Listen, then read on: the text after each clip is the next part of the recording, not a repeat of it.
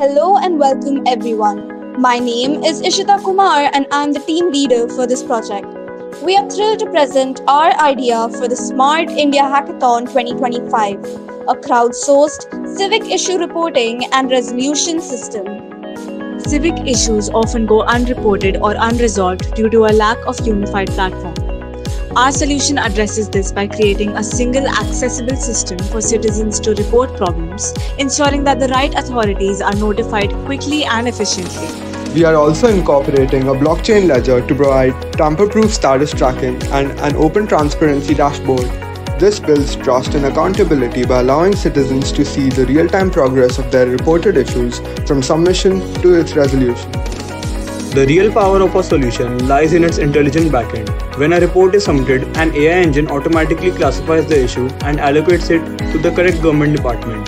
This automated department routing streamlines the process and ensures that issues are handled by the right people from the start. Our system is built on a robust technical stack.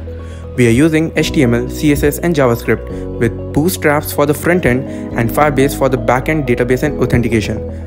We will also use PostgreSQL with geospatial APIs for high precision mapping and TensorFlow Lite for AI integration. Our platform is a unified mobile and web application. Citizens can easily submit reports using geotagged multimedia inputs such as photos, texts, or even voice notes. This makes the process simple and accessible to everyone, including non tech users through a multilingual interface. The impact of a solution will be significant. We anticipate faster reporting, smart resource allocation, and a new level of trust and transparency between citizens and government bodies.